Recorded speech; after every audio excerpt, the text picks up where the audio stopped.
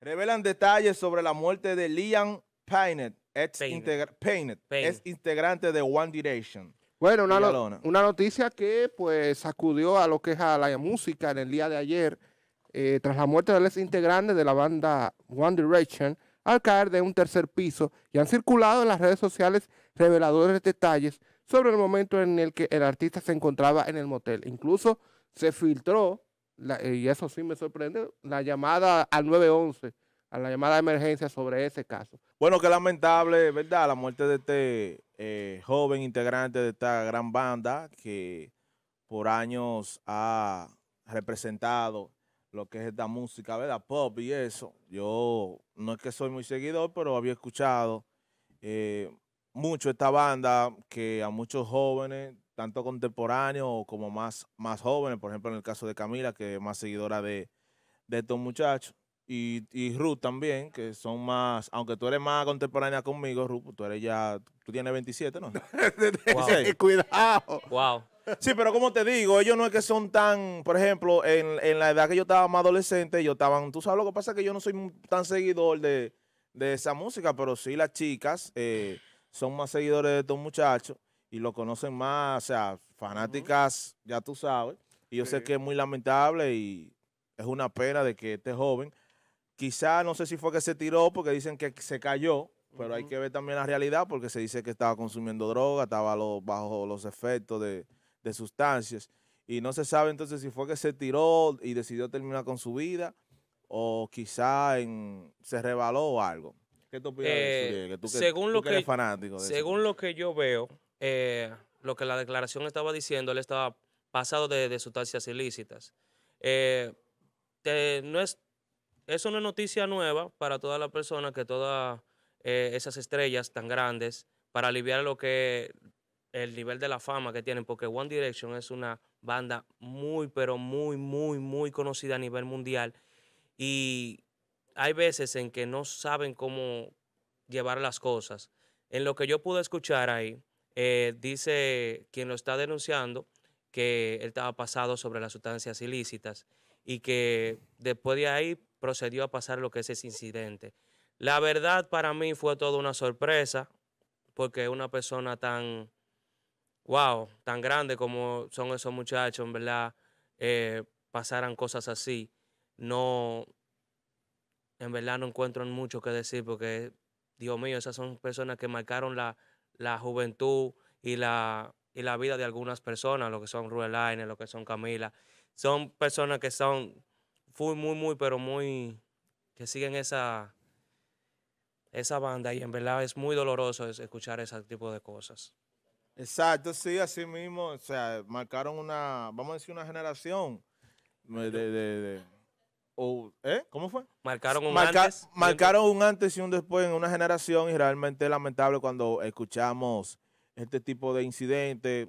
O sea, es algo que lamentablemente tenemos que vivir con eso porque no solo le ha pasado a este joven, ha pasado anteriormente con varios artistas que han decidido terminar con su vida. Personas, por ejemplo, ahí está Avicii, ¿te acuerdas de Avicii? Claro que sí. Eh, ¿Quién más? Bueno, Cáncer, bueno, lo de Cancelbero está todavía en, en- en un procedimiento legal porque no, eh, eh, ya hemos hablado aquí de que no fue él supuestamente que se tiró de la- del edificio, pero también fue un hecho trágico. O sea, personas que marcan, Marcan un, antes y un después en la historia y que lamentablemente su vida termine de una manera trágica y tan joven, o sea, es algo que realmente impacta. Hay muchos, eh, muchos artistas que han muerto de esta manera y también bajo, bajo los efectos de las drogas, por sobredosis.